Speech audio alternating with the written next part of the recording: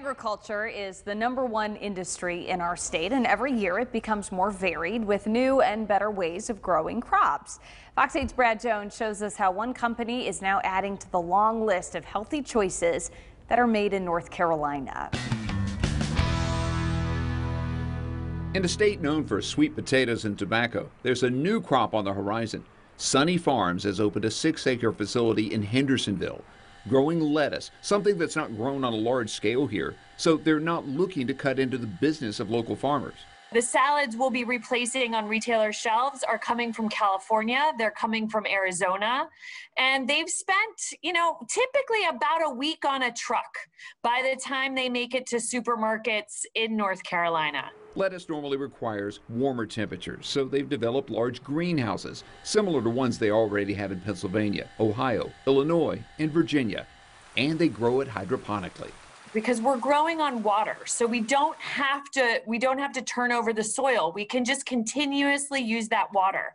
So that facility will produce about 2 million pounds of lettuce a year. It makes a difference for customers because locally grown really is better better tasting and better for you. When many types of vegetables are harvested they start losing nutrition the farther they get from that cut from the plant. So the fresher you can bring consumers the salad, the healthier it is for them because it loses nutrients over time.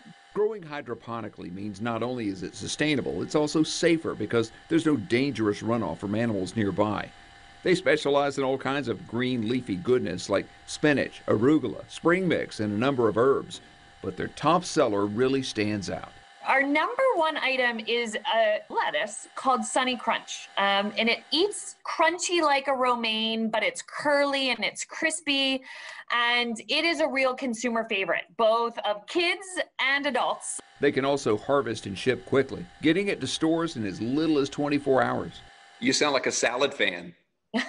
salad fan. You know, when you get really good lettuce, you can also start to appreciate the lettuce as the best part of the salad.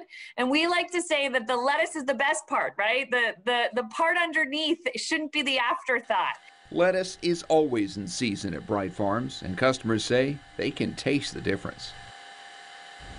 And you can find Bright Farms lettuce and other salad mixes at local food Food Lion stores, and they're hoping to expand to more retailers soon.